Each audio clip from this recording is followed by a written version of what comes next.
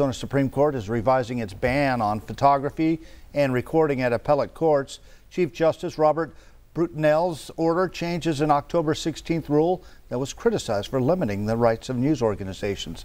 That rule still generally prohibits photography and vid videography inside without permission, but the outside restrictions only prohibits activity that threatens people, disrupts court operations, or compromises security. If someone breaks those rules, they will be told to stop, but they will not have to delete any photos or video.